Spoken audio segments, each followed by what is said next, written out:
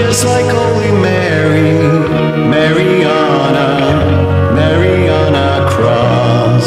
Not just another bloody.